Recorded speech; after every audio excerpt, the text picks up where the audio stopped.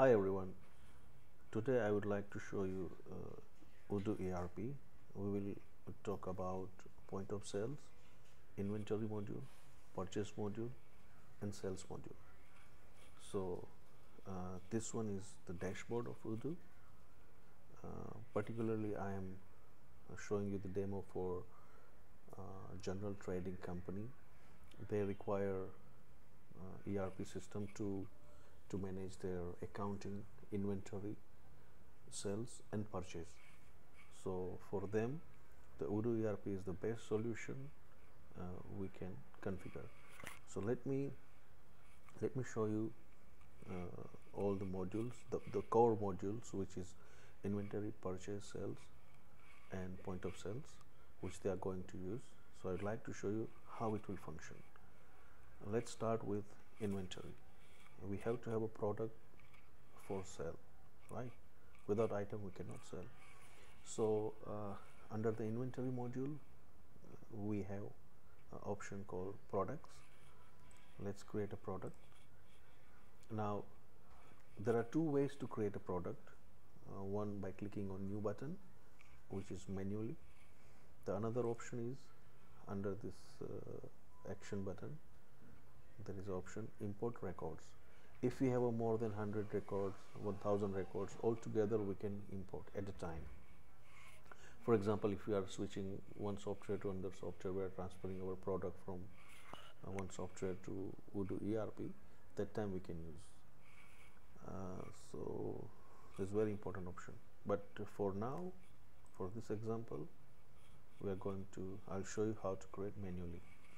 So let's create a product let's say chana dal yeah. Uh, product type make sure to select storable products because we are going to maintain uh, an inventory for this chana dal uh, make sure always that uh, if any product or any item uh, if you have to maintain the inventory this storable product has to be selected yeah? Now uh, another important option uh, unit of measure bag. Because we will we will receive a chana dal in bag 5 kg bag 2 kg bag it's like that. So UOM is a bag and the sales price let's say 100 dirham cost 50 dirham for example we can set a barcode. We will talk about it later on in my next video yeah? Then this is general information then another tab sales here we can see uh, this important option. If we are going to use POS point of sales for the retail business obviously uh, we have to use the POS so take this one. Why? Because uh, if this one is unticked we will not have this chana dal appear on our POS machine. So to make it appear uh, obviously we have to select this button always. Yeah we have to tick this one. Then click on uh, the another option we have a purchase. Yeah, inventory. Inventory here we can let's say we need this chana dal uh, 5 kg. The weight of this bag will be 5 kg yeah? And uh, this is accounting. We will cover this other option uh, in my next video when we talk about accounting and into detail about inventory and purchase yeah? So for now uh, click on update quantity. Let it be zero. Don't uh, put anything I will show you by you know ordering. You know we will order to our, our vendor. So just click on apply. And now let's go to I will show you the purchase. We are going to purchase this uh, particular item. So that uh, to it will update our inventory. For now uh, one second let me show you. Inventory report stock uh, chana dal. We had one chana dal but we are talking about this one particularly. Uh, it's a zero yeah. So now let's order to our vendor. Go to purchase module click on new uh, let's say this all are existing vendor. You can select if it is existing vendor otherwise you can create a new one vendor abc one. Create it's very easy user friendly yeah? So we are ordering what? Uh, chana dal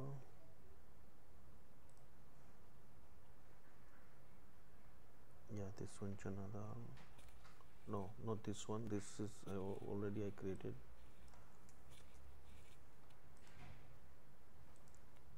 Uh, we have two chana dal so yeah this one. The unit price is uh, 50 gram the purchase price. Now we need 10 bags of 5 kg just for my reference I'm, we can put 5 kg chana dal 50 dirham the by default 5 percent uh, VAT we have in UAE so we have set up uh, it's automatically you know pop up. If you se select country UAE you will have 5 percent. Yeah. And that's it. Now let's we can send this uh, quotation by email or we can print and submit. So in this scenario just I would like to confirm. Let's click on confirm order. Order has been confirmed uh, we have option for create bill. We will do it later on. We will cover this in accounting module. So now you see the vehicle the when icon here. It means we are receiving the, the items yeah? So click on this button. The warehouse supervisor will do that. Uh, they will uh, procurement team. They will uh, uh, create the purchase order. And the warehouse team supervise. They will validate this product. They will double check. Once the vehicle will come with the product they will double check. Everything is up to the mark. If okay then they will validate. To do that click on this validate button. And uh, once they validate uh, it means we receive the we receive the item in our warehouse. Yeah let's check. Click on inventory report stock. So now we have a chana dal on hand 10 bags. Yeah. This one particularly i'm talking about. Okay so uh, we created product we order the product. Product uh, we received in our warehouse. It's uh, reflected in our inventory. Now let's sell this product I have a customer uh, who want five bags of chana dal. So let's say let's go to point of sales. This is the screen dashboard of point of sales. We have various options. Now shop uh, let's open the register. To start with we have to click on open the register. Opening cash we have 525 dirham in our uh, in our uh, drawer. Yeah? So I will I will start with the zero. Open session. Let's start with the zero. Chana dal uh, which one? This one? Yeah.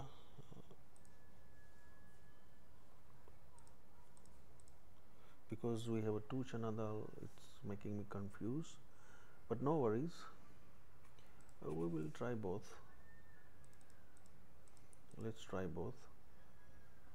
Uh, this one. They need 5 eggs.